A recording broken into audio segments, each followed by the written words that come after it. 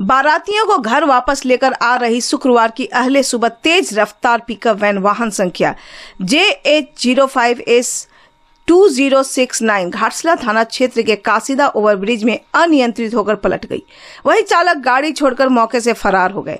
Pickup पलटने से 23 लोग घायल हो गए। घटना की सूचना मिलते ही सामाजिक कार्यकर्ता घटनास्थल पर पहुँचे और एंबुलेंस बुलाकर सभी घायलों को घाटशिला अनुमंडल अस्पताल पहुँचाया, जहाँ अनुमंडल अस्पताल के चिकित्सक प्रभारी डॉक्टर आर एन सोरेन और डॉक्टर कुमुदनी ने सभी का प्राथमिक उपचार किया तथा गंभीर रूप से छह घायलों को एमजीएम अस्पताल लेकर रेफर कर दिया।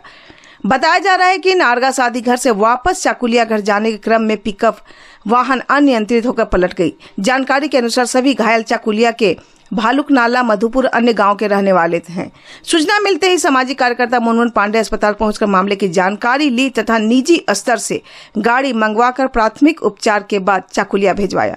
घाटशिला से सिद्धार्थ आनंद की रिपोर्ट।